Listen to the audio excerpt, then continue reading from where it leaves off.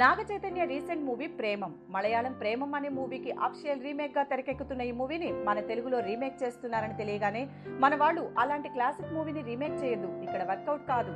అందులోనూ ఇంకా నాగ చైతన్య అది ఇది అని అన్నారు. కానీ మూవీ ఫస్ట్ లుక్ నుంచి ఫస్ట్ థియరటికల్ ట్రైలర్ వరకు నాగ చైతన్య తన లుక్స్తో ఆ ట్రైలర్ కట్తో అందరినీ మెస్మరైజ్ చేస్తూ వచ్చాడు. ఇప్పుడు ఇవన్నీ అడ్డంకులను దాటుకుని యూఏ సర్టిఫికెట్తో అక్టోబర్ ఏడున ప్రేక్షకుల ముందుకు రానుంది ప్రేమం. కానీ రీసెంట్గా ప్రేమం గురించి ఒక ఇంట్రెస్టింగ్ గాసిప్ బయటకు వచ్చింది అదేంటంటే ఈ మూవీకి మాటల మాంత్రికుడు త్రివిక్రమ్ డైలాగ్స్ రాశారట. నిర్మాత రాధాకృష్ణకు త్రివిక్రమ్కు మధ్య ఉన్న స్నేహం కారణంగా ఇది జరిగింది అంటున్నారు. గతంలో నాగార్జున నటించిన మన్మధుడు సినిమాకు త్రివిక్రమ్ మాటలు రాసి సూపర్ హిట్ కొట్టాడు.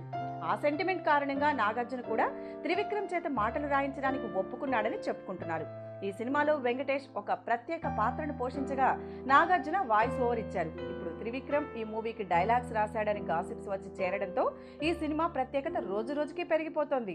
ఈ నేపథ్యంలో ప్రేమం సినిమాకి భారీ ఓపెనింగ్స్ రావడం ఖాయమని అక్కినేని అభిమానులు చెప్పుకుంటున్నారు.